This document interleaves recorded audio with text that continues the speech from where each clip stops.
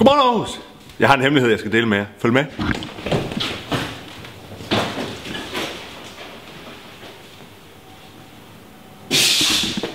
Hej så! Prøv lige at se her engang. Det her, det er en rødfisk. Og en rødfisk er en fantastisk fisk.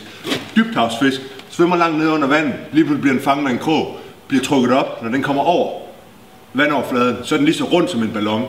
Helt fantastisk. Store øjne. Magnificent. Men det, der er interessant, den her fisk, den føder levende unger. Hvem gør det? Det er fantastisk. Så derfor har vi købt en masse flotte rødfisk, og vi laver pæne filéer, super tilbud. Kom ned i butikken. Vi kører tilbud torsdag, fredag og lørdag. Rødfisk, red fish, red fish, red fish.